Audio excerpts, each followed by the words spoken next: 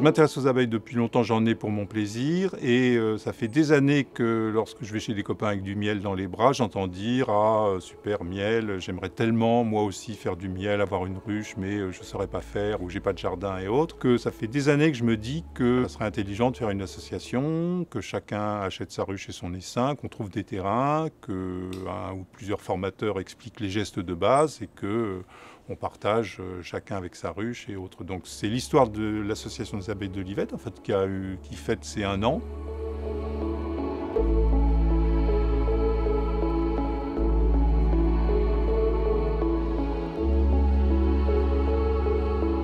C'est peut-être un petit peu par hasard que je suis arrivée à l'association, dans l'optique aussi de dédramatiser, enfin de voir l'abeille différemment. C'est un insecte qui me faisait un petit peu peur en fait, mais malgré tout, la complexité de, l'insecte euh, m'intéressait et j'avais envie d'en savoir un petit peu plus. Il faut remettre des abeilles dans l'environnement, donc c'est tout ce qui contribue à le faire eh ben, est bon à prendre. Donc des associations d'apiculteurs de loisirs, ça remet des abeilles dans l'environnement. C'est intéressant de voir les gens euh, qui sont préoccupés par les abeilles, ben, essayer de comprendre comment ça fonctionne et regarder leur environnement d'une autre façon. Je commençais à m'intéresser à l'apiculture euh, quand une association s'est créée dans mon entreprise où on a installé une dizaine de ruches. Pendant un an, j'ai suivi euh, toute une saison euh, d'apiculture. Et donc, quand l'association euh, s'est montée, je me suis dit que c'était l'occasion pour pouvoir avoir ma ruche. On a trouvé deux terrains, l'un chez un adhérent, donc sur un terrain privé, l'autre obligeamment mis à disposition par la mairie de Gif-sur-Yvette.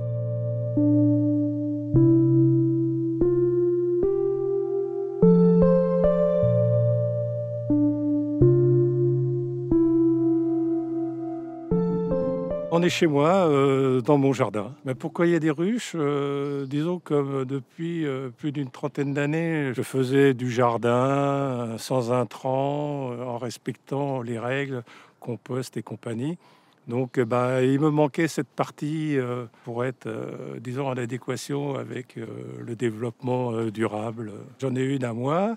Et les autres euh, sont des membres de l'association qui viennent régulièrement, qui passent euh, par le bas du terrain et puis qui viennent euh, quand bon leur semble pour visiter leur ruche et faire les, les manips qu'il y a à faire.